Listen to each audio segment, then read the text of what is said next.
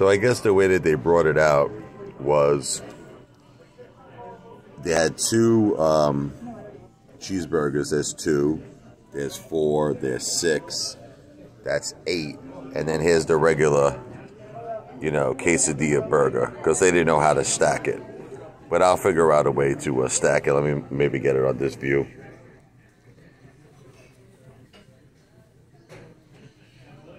So there it is. This is going to be 10 patties with the uh, quesadilla burger. Has two patties, so there's a total of 10 patties. Thank you so much.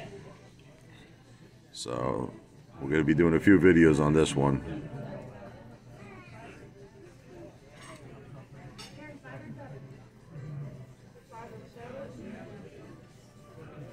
Getting ready to consume a lot of food.